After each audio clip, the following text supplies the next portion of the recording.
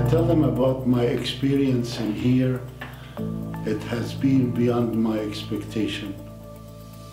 I will tell them how I came here. I couldn't walk, I couldn't talk, and within a week of the nursing and nourishing me with all the help I need, I gain my health.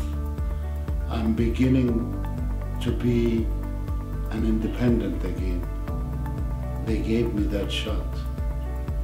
And uh, I'm very grateful for that. And I would recommend it for anybody, 100%. This is the place